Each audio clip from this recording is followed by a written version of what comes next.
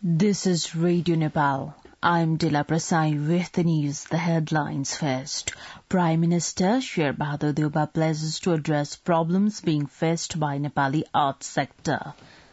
Election Commission briefs representatives of diplomatic missions about preparations for November 20 elections.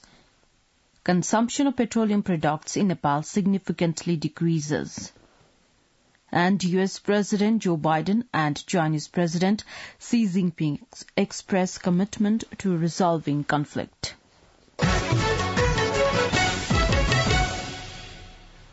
Now the news in detail.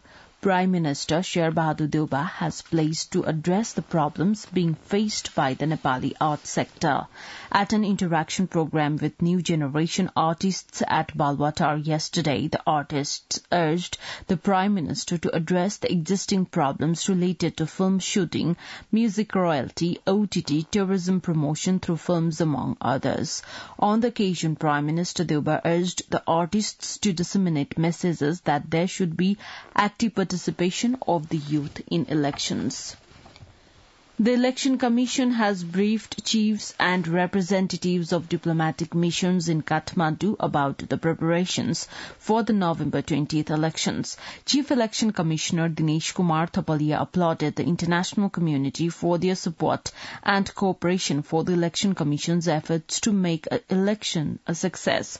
Chiefs and representatives from over 20 diplomatic missions in Kathmandu and representatives from the Office of the Prime Minister and Council Ministers, Ministry of Home Affairs and Ministry of Foreign Affairs were present on the occasion at the Election Commission yesterday.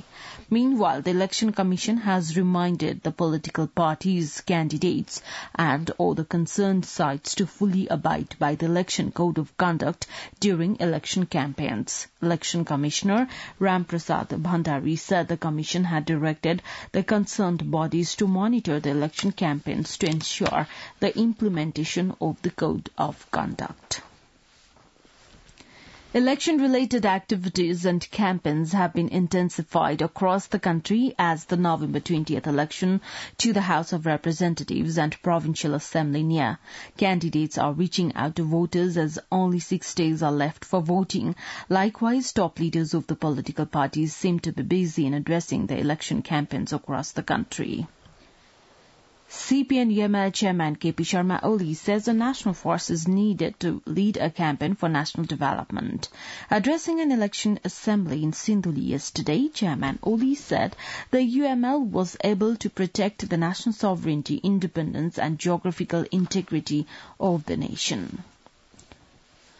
The Supreme Court has issued an interim order in the name of the Election Commission not to implement the decision to remove the name of LGBTIQ plus persons from the closed list of the proportional representation system of the November 20 elections.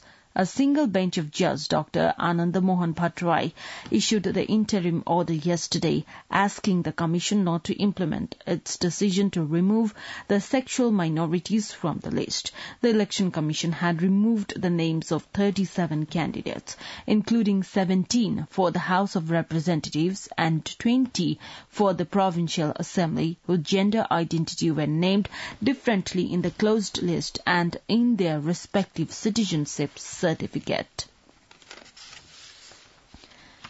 Chairman of the CPN Maoist Center, Pushpa Kamal Dahal Prachanda, has claimed that the Left Democratic Alliance will continue until regression exists.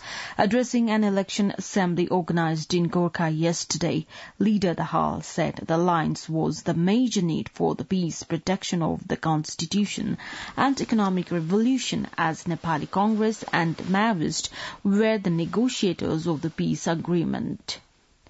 The domestic consumption of petroleum products has significantly decreased in Nepal compared to the last year.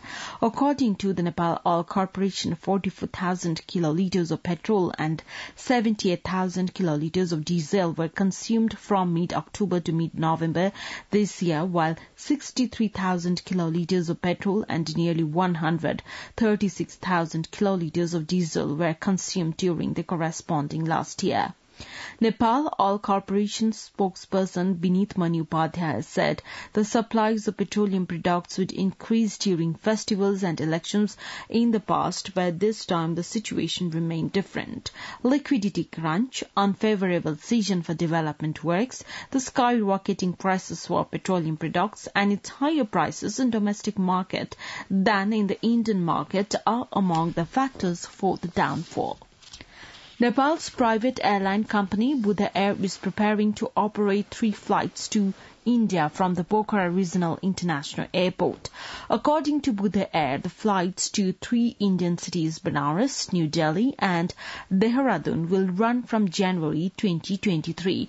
As the company says, the government is making initiatives for an air traffic route from India and regular flights will begin once the route and slot permissions will be obtained from the Indian government.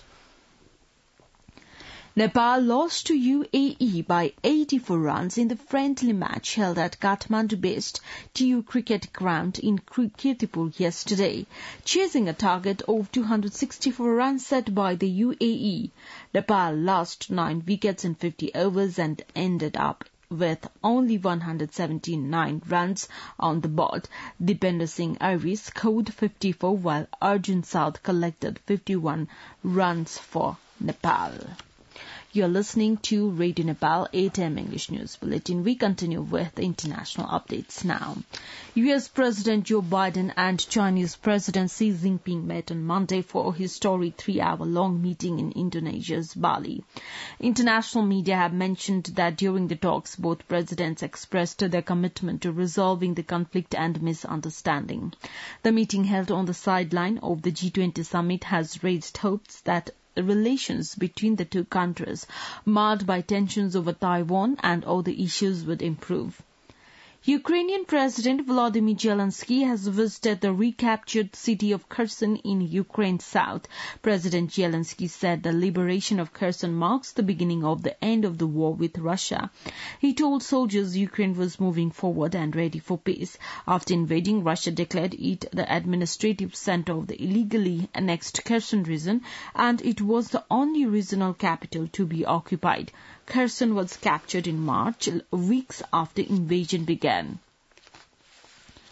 Now the general weather forecast for the country for today. Forecasting division says the weather is likely to be partly to generally cloudy in the hilly areas of the country and partly cloudy to mainly fair in the rest of the country. Light rain is likely to occur at one or two places in Sudur Pashchim province. Kathmandu's weather report now. Maximum temperature of 21.8 degrees Celsius and minimum temperature of 9 degrees Celsius. With this news, we have come to the end of this bulletin, but before we wrap up the headlines once again. Prime Minister Sher Bahadur Deuba pledges to address problems being faced by Nepali art sector. Election Commission briefs representatives of diplomatic missions about preparations for November 20 elections.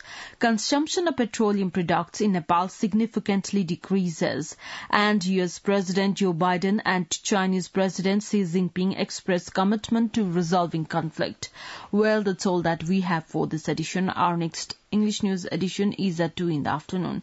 You can also listen to us online at our website www.radionepal.gov.in for more news and online programs. Stay tuned, stay safe and have a good day.